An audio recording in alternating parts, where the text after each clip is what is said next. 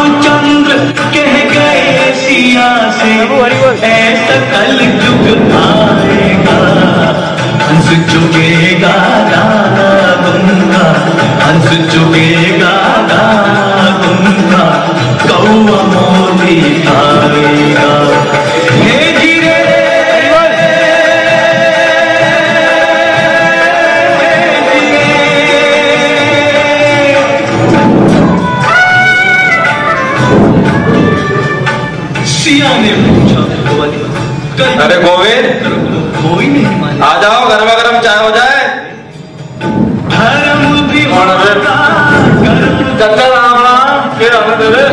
बढ़िया बेटा रजनी रजनीकांत कैसे हो? ठीक है।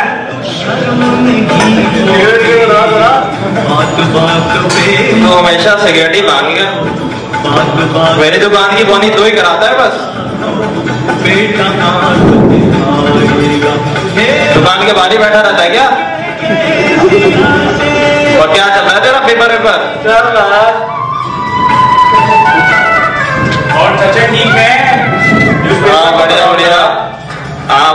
ले चश्मा लगे गया पढ़ना नहीं छोड़ेगा नहीं छोड़ दो तुम भी है यार। जाता नहीं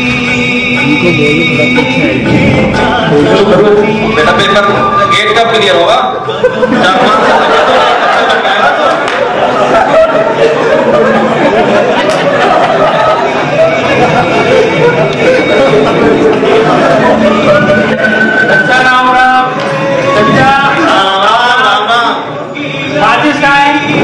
पर। और भाई क्या हाल है मेरे? बढ़िया भाई। और कुछ सुना? यार अपना तो वही हड्डी वही खाल। बस भाई ये क्या हाल झुकेगा यार एक बात बता। ये चाचा सुबह सुबह कैसा नाम लगा रहे हैं? कोई रोगी सोगी मजवा यार? अरे अच्छा। अरे अच्छा। चलो लगाते सुबह सुबह रॉकिंग शॉकिंग से लगा दो कान फोड़ दे रहे तेरा मिल गया मेरा हाँ रुक जा रुक जा लगा रहा हूँ रुक जा हाँ सुन ले सुन।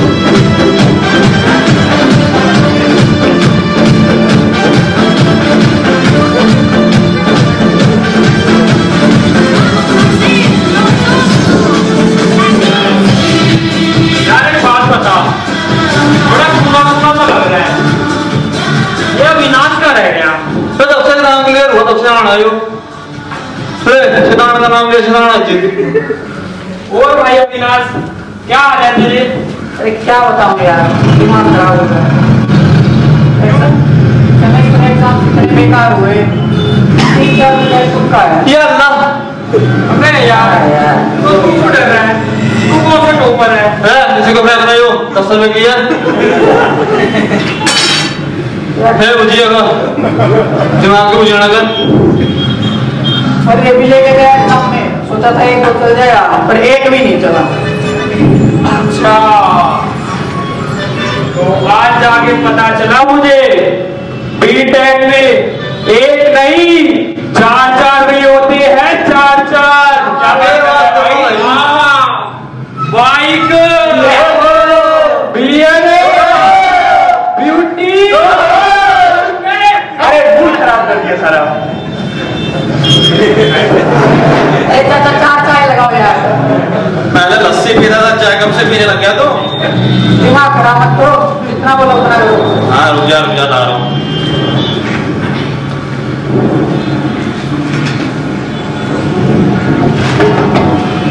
हाँ पी बढ़ गिरा दो चचा गुस्से में लग रहा है सही है ना भाई तो बीवी छोड़ के भाग गई हाँ यार भाग गई है ए, चचा चाय है नाले का अच्छा इधर नाल का पानी पिलाया कर दो रुपए मेरे प्राण लगा दो हाँ दो रुपए उधारी के मुँह डाकर आ दो चाय पीने के लिए यहाँ पर। सुबह सुबह में। चचा एक दिन तेरे सारे हिसाब क्लियर कर दूँगा सारे। पहले पेपर क्लियर कर ले अपने तू बाद में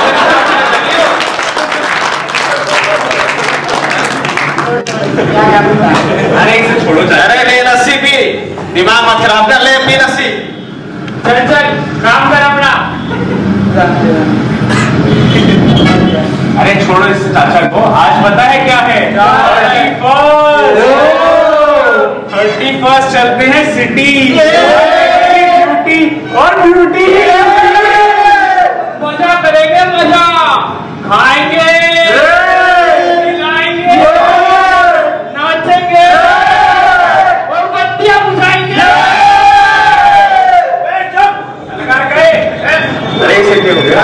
हो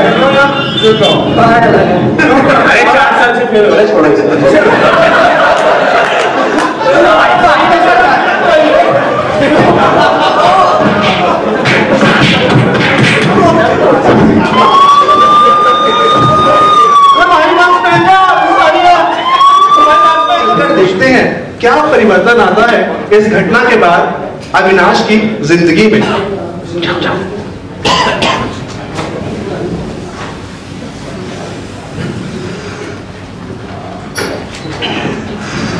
क्या ज़िंदगी रहेगी यार कुछ समझ नहीं यार कहाँ जाऊँ क्या करूँ?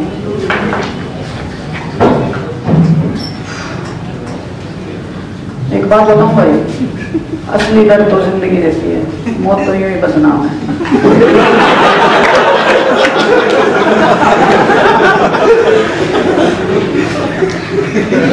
तो है? देखो। अब इसके लिए पर्स की क्या ज़रूरत थी? देखेंगे। ISKCON last day celebrations Vaikuntha. अप्सराएँ I like it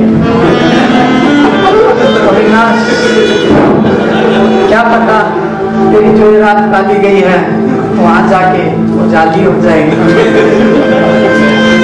Let's go Avinash.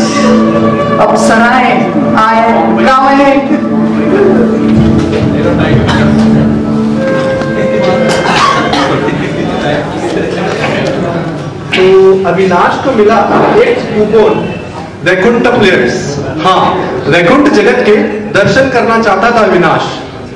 अप्सराएँ अप्सराएँ चाहिए थी उसे, लेकिन विधि के विधान ने उसे एक ऐसी नगरी में पहुँचाया जहाँ हो रहा था एक भव्य आयोजन। तो हम देखते हैं उस भव्य आयोजन में कौन स्वागत कर रहा है हमारे अविनाश का।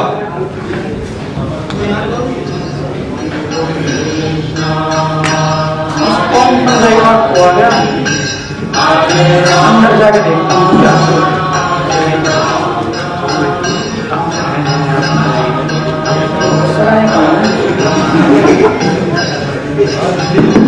सारे लड़के बैठे। भाई देखी कोई अप्सरा आओ अविनाश आओ। कौन है भागवतम महापुराण तुम्हारे विनाश को रोकने आया हूँ। भाई तुम कौन हो और मेरा नाम कैसे जानते हो? मुझे सब पता है अविनाश। मेरा नाम तुम्हें लंबा लग सकता है। तुम मुझे भागवतम भी कह सकते हो। और तुम यहाँ तुक्के से नहीं आए हो। नियति तुम्हें लेकर आई है। अविनाश। मैं अकेला हूँ। अविनाश क्या तुम नहीं चाहते तुम्हारा जीवन चिंता मुक्त हो? नहीं चाहता यार। चलो अविनाश तुम्हें ले चलू ऐसे गगन के तले जहाँ गम भी ना हो आँसू भी ना हो बस प्यार ही प्यार तले। अरे वो शायर अपनी है ना फेसबुक पे डाल कुछ लाइक्स आ जाएँगे तुम्हें क्या बताओ अविनाश? मेरा तो फेस भी हिट है बुक भी हिट है। पाँच हज़ार साल पहले भी हिट थी और आज भी हिट है। अच्छा अच्छा अच्छा वो सब छोड़ मैंने सुना है मंदिर में भक्ति होती है श्रद्धा होती है पूजा होती है एक से तो मिलवा दो यार।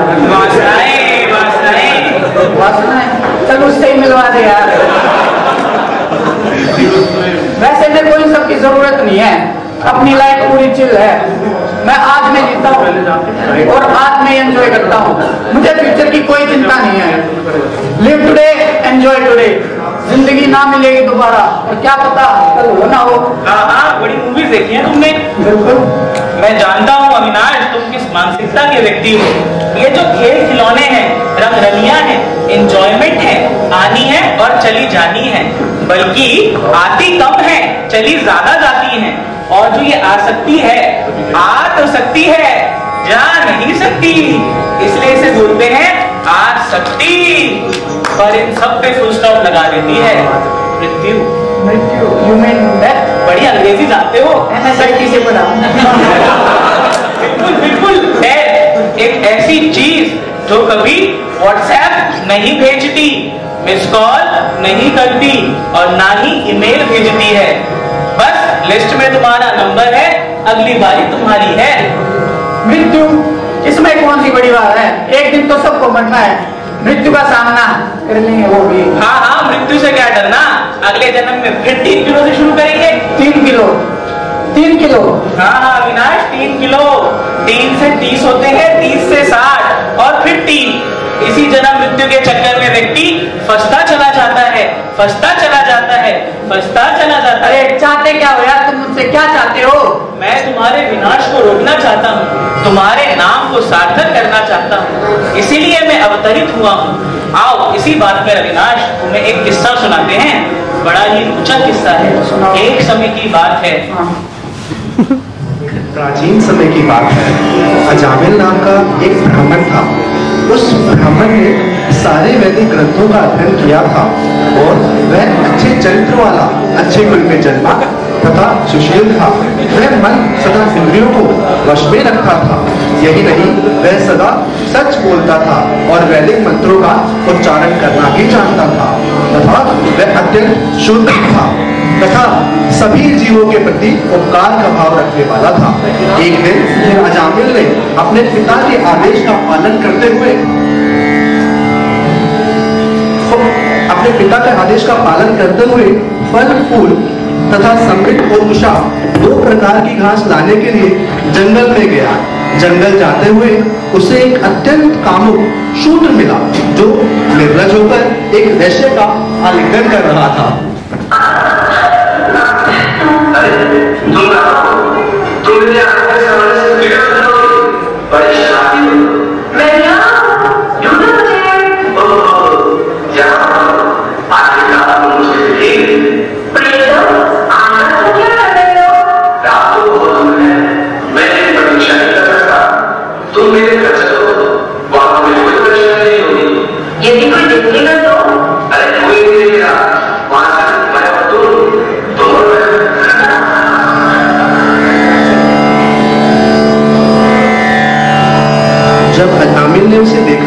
उसके हृदय में सुप्त काम, इच्छाएँ जागृत हो गई और वह सम्मोहित होकर उसके वश में आ गया। उसने ज्ञान तथा बुद्धि के बल पर अपने काम इच्छाओं को वश में करने का प्रयास किया, किंतु अपने मन के भीतर काम देव के रेग होने के कारण वह अपने मन को शांत ना कर सका। जिस प्रकार सूर्य तथा चंद्रमा एक राहु के द्वारा ग्रसित हो जाते हैं, उस तरह उस ब्राह्मण ने अपना सारा उत्तम ज्ञान खो दिया। स्थिति का लाभ उठाकर वह सदैव उस वैश्य के विषय में चिंतन करता रहता। और थोड़े समय बाद उसने उस वैश्य को अपने घर में नौकरानी बनाकर रख लिया। और उसने अपने सारे अनुष्ठानों का त्याग कर दिया। उस वैश्य की संगति से वह पाप कर्म में लिप्त हो गया। उसने अपनी सुंदर पत्नी का भी त्याग कर दिया और घर से बाहर निकाल दिया। यद्यपि वह ब्राह्मण कुल में से था लेकिन उस वैश्य की संगति के कारण बुद्धि से विहीन होकर वह धूल उचित अनुचित तरह से धन कमाने में लग गया और उस वैश्य के, के पुत्रों और पुत्रों के भरण पोषण में लग गया। उस धुट अजामिल के दस पुत्र थे और उसके छोटे पुत्र का नाम नारायण था। क्योंकि वह सबसे छोटा पुत्र था तो जिस प्रकार छोटा पुत्र माता पिता का बहुत लाडला होता है, जब अजामिल कुछ भोजन करता तो वह नारायण को देने के लिए बुलाता, नारायण, इधर आओ, नारायण, इधर आओ। जब कुछ पीता, तब भी नारायण को बुलाता, नारायण, इधर आओ, नारायण, इधर आओ। वह उस बालक की देख रेख करने में, उसका नाम पुकारने में सदैव लगा रहता और अजामिल यह ना समझ पाया कि उसका समय समाप्त हो चुका है और उसके, और वह मृत्यु के द्वार पर खड़ा है।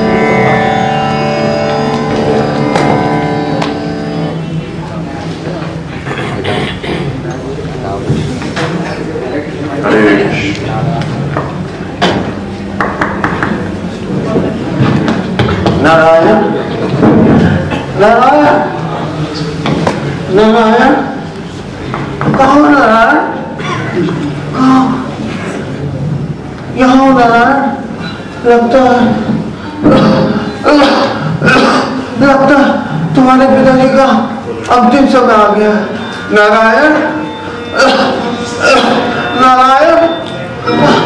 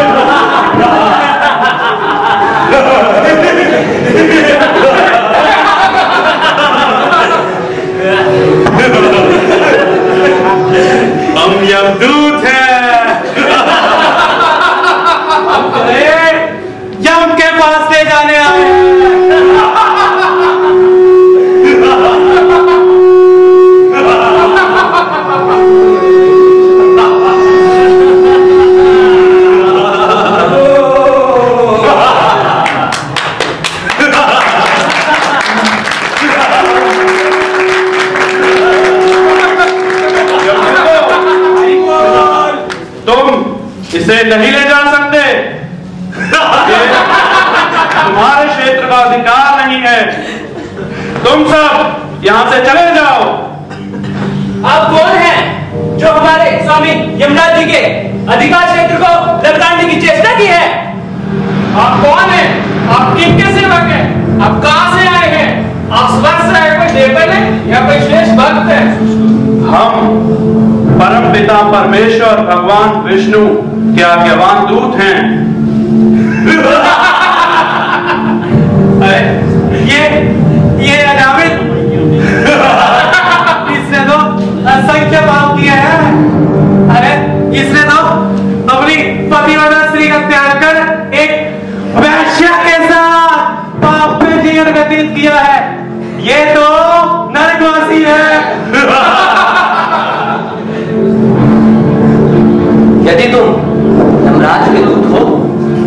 बताओ, धर्म क्या है? धर्म के विरुद्ध क्या है? पाप क्या है? किस प्रकार का व्यक्ति दंड पाने योग्य है? अगर कोई व्यक्ति जीवन भर सकाम कर्म में लगा रहे तो क्या वो दंड का भोगी होगा? बताओ, धर्म और अधर्म में क्या भेद है? क्या परिभाषा है? जो वेदों में बताया गया है, वही धर्म है, जो इनके विरुद्ध चलता है।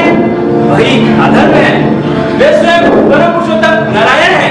वे स्वयं उत्पन्न हुए हैं। वे सर्व कारण कारणम है। ऐसा हमारे स्वामी यमराज जी ने हमें बताया है। सूर्य, चंद्रमा, अग्नि, आकाश, जल, वायु पताल ये दिन, रात, संध्या, ये समस्त विषय उन परम पिता परमेश्वर में स्थित है। आखिर जीवों के कर्मों का सिद्धांत कौन घोषित करता है? वो ये सारी दिशाएँ साक्षी हैं। इसने तो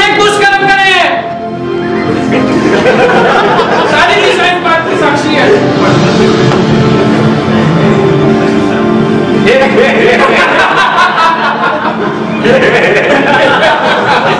ये विष्णु दूतो, आपको दिखने में अत्यंत सुंदर है और निष्पाप है। तो आप पिता जाने को जाने का प्रयत्न क्यों कर रहे हैं? आप तो जानते ही हैं, भौतिक प्रकृति के सारे जीव कर्मी है।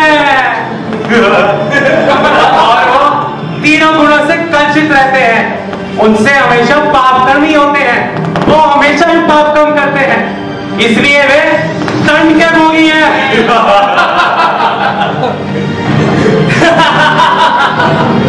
अरे, इस पापी ने अनेक व्यक्तियों पसंद किया है। इसने ना जाने कितने दुष्कृत कर्म कर रखे हैं। ये यहाँ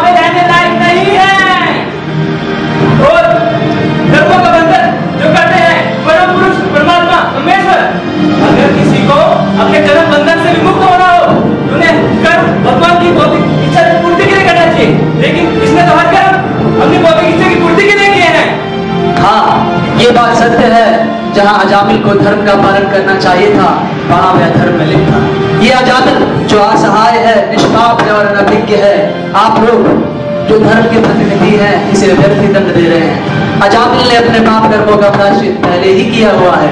अजामिल ने असहाय अवस्था में भगवान नारायण के नाम का उच्चारण किया है, और नारायण के नाम के उच्चारण मात्र से शुद्ध हो गया है, और मोक्ष के पात्र है। हे विष्णु दूतों नारायण नाम से ऐसा कैसे संभव है? ना कभी जाना न कभी देखा न कभी सुना कि एक पिता अपने पुत्र का नाम लेकर उसका उद्धार हो जाता है। ये कैसे संभव है? हमें बताइए। भगवान श्री हरि ने अपने नामों के अंदर अपनी सारी शक्तियाँ डाल दी। जब भी कोई जीव भगवान श्री हरि का नाम अपने हृदय से पुकारता है तो भगवान उसकी ओर आकृष्ट हो जाते हैं। भगवान कहते हैं, इस जीव ने मेरा नाम पुकारा है, मुझे इसकी रक्षा करनी ही होगी। जब भी कोई जीव असहाय अवस्था में भगवान नारायण का नाम पुकारता है तो उसके समस्त पाप नष्ट हो जाते हैं, उसका हृदय निर्मल हो जाता है। और फिर अजामिल ने तो असहाय अवस्था में भगवान नारायण का नाम पुकारा है, इसलिए तुम अजामिल को नहीं ले जा सकते, क्योंकि इसका हृदय एकदम निर्मल और शुद्ध हो चुका है। हाँ हमने सुना है, जब कोई दुष्कर्म करता है तो उसे अपना प्राश्चित करना पड़ता है। और ये जो अधर्मी है, इसने तो ऐसा कुछ भी नहीं किया। जिस प्रकार अग्नि सूखी घास को जलाकर नष्ट कर देती है, उसी प्रकार भगवान श्री हरि के नाम इतने शक्तिशाली है कि जीव के समस्त पापों को नष्ट कर देते हैं। और जहाँ तक बात प्रायश्चित की है, भौतिक प्रायश्चित करने से जीव के केवल पाप कर्म खत्म होते हैं। पर लेकिन भगवान श्री हरि के नाम तो इतने शक्तिशाली है कि एक बार अगर कोई जीव हृदय से भगवान का नाम पुकार ले तो उसके पाप कर्म तो नष्ट हो ही जाते हैं। अभी तो उसकी पाप करने की प्रवृत्ति भी खत्म हो जाती है।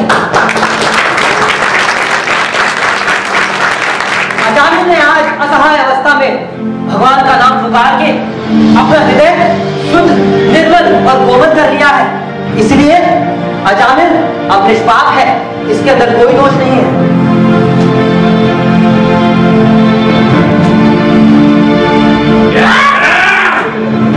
तो ठीक है? अभी तो जा रहे हैं। लेकिन इस विषय की चर्चा अपने स्वामी से अवश्य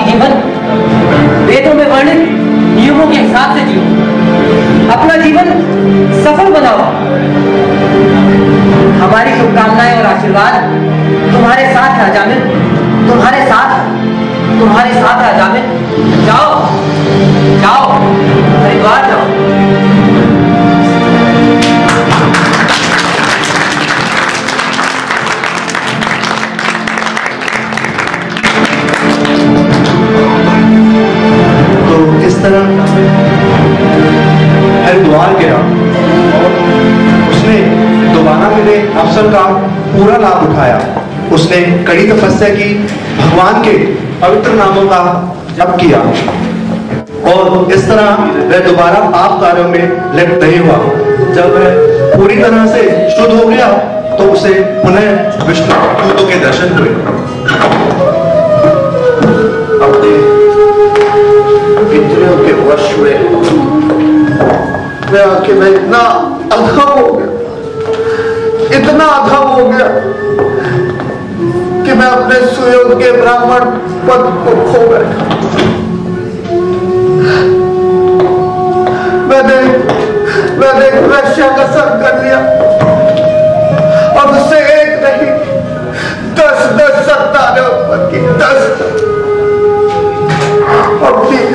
देवी जैसी पुत्री को घर से बाहर निकाल दिया। और, और मेरे माता पिता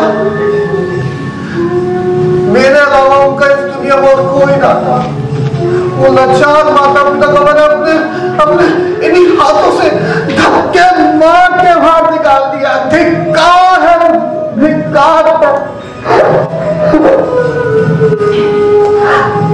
मैंने तो अपने जीवन में इतने पाप किए, इतने पाप किए। मुझे तो ऐसी जगह पे फेंक देना चाहिए था, जहाँ पर धार्मिक सिद्धांतों को तोड़ने वालों को फेंका जाए। लेकिन भगवान इतने दयालु इतने दयालु यदि मैंने हरि नाम का जप ना किया होता तो विष्णु दूत मुझे कभी बचाने नहीं आते। अब मैं समझ गया अब मैं समझ गया ये जो मनुष्य जीवन है, ये हरि नाम का कीर्तन करने के लिए। ये मनुष्य जीवन केवल हरि नाम की सेवा करने के लिए ही मिला है। मैं समझ गया अब मैं अपने मान और इंद्रियों को शुद्ध करूँगा। हरिद्वार जाऊँगा। हरे नाम का कीर्तन का जप करूँगा हरे कृष्णा, हरे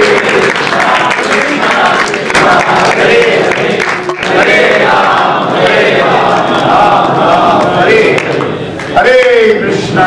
हरे कृष्णा कृष्णा कृष्णा हरे हरे हरे राम हरे राम। राम राम हरे हरे हरे कृष्णा हरे कृष्णा कृष्णा कृष्णा, हरे हरे।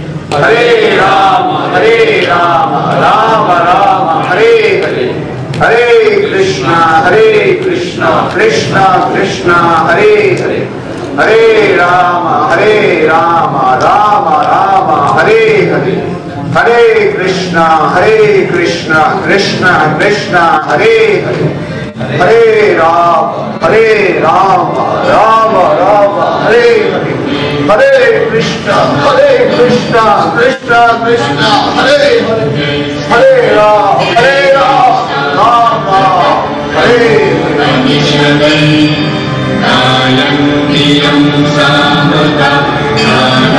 पश्यन्तिरं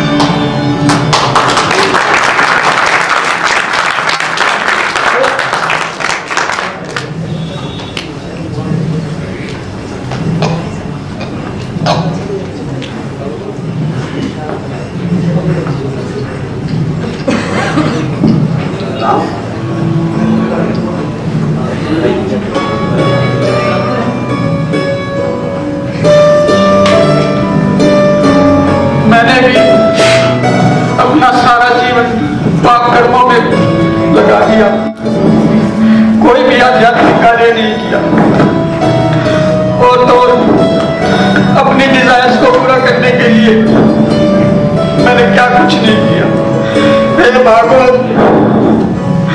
हे भागवत। मैंने अपना सारा जीवन पाप कर्मों में लगाकर कुछ भी अच्छा कार्य नहीं अपनी डिज़ायर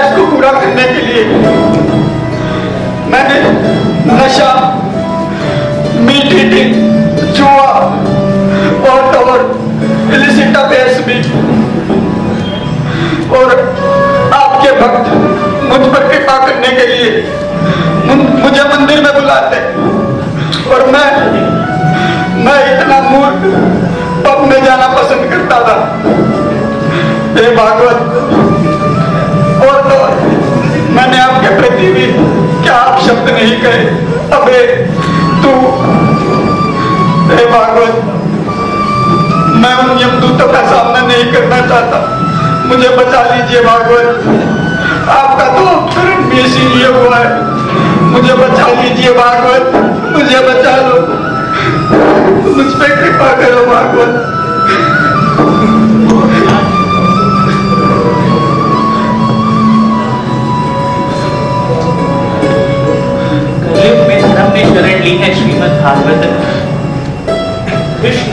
भागवतम में कोई भेद नहीं। भगवान के भागवतम के पहले दो स्कंद भगवान के चरण हैं। तीसरा और चौथा स्कंद भगवान की जांघें हैं। पांचवा स्कंद भगवान का उदर है। छठा स्कंद भगवान का वस्त्र है। सातवां और आठवां स्कंद भगवान की सुंदर भुजाएँ नवा स्कंद भगवान का कंठ है। दसवां स्कंद भगवान का सुंदर मंडल है। ग्यारहवा स्कंद भगवान की ललाट है। बारहवा स्कंद भगवान का मुकुट है। इस तरह भागवतम में और कृष्ण में कोई भेद नहीं है। मैं चाहता हूँ कि तुम भागवतम को इसकी शरण लो। इसमें भक्ति वेदांत तात्पर्य दिए हैं और जो भी भक्त इस भागवतम को पढ़ता है, विशेष रूप से भक्ति वेदांत तात्पर्यों के साथ वह बाध्य हो जाता है कृष्ण की भक्ति करने के लिए। और तो और। कृष्ण उसे कभी छोड़ते नहीं है। अभी हमने देखा कैसे अजामिल का उद्धार हुआ भगवान नाम को लेने से। उसी तरह तुम अविनाश, हरे कृष्ण महामंत्र के जब को करो और अपने जीवन को उद्धार करो, अपने जीवन को सार्थक करो, अपने जीवन को सार्थक करो हरे कृष्णा हरे कृष्णा कृष्णा कृष्णा, हरे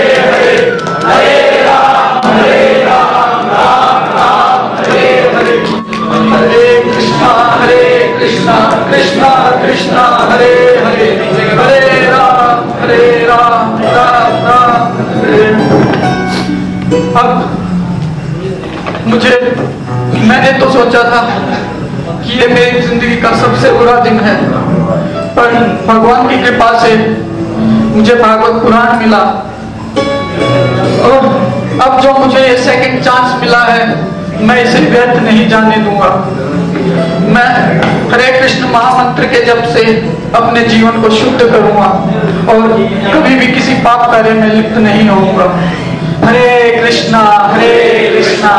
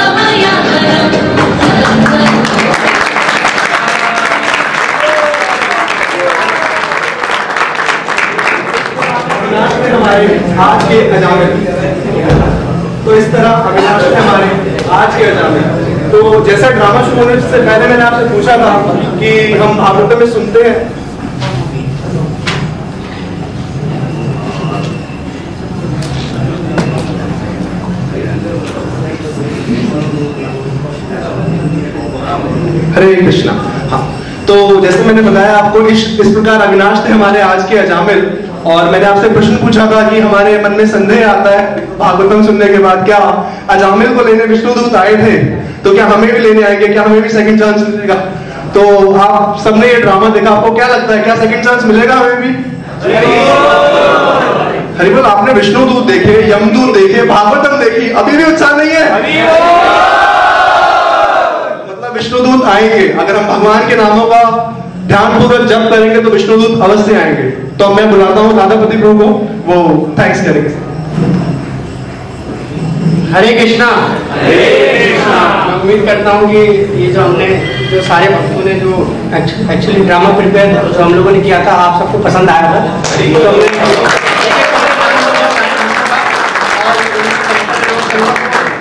एक एक एक करके हैं और मैं आपसे ये प्रार्थना करूँगा कि उनके नाम के बाद आप उनका उत्साह बढ़ा सकते हैं तो पहले तो बुलाना चाहूँगा साहिल जो कि अविनाश बने हुए हैं।